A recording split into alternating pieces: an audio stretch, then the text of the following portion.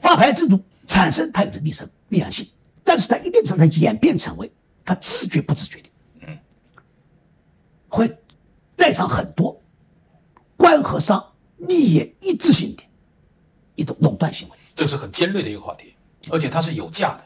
对啊，权力行助的另外一个派生对。而他把权力行助表现成为好像还振振有词，嗯，还为了保护弱势、保护投资者，是吧？这是我现在很反对，一说都是加密货币的事情。香港现在一共是三千家还是四千家上市公司吧？几乎一半或者一半以上都成了仙股，仙股零点几，零点几，造成这个现象，难道监管不需要负责任？难道因为要符合这个监管形成的庞大的、相当庞大一块的实力者阶层？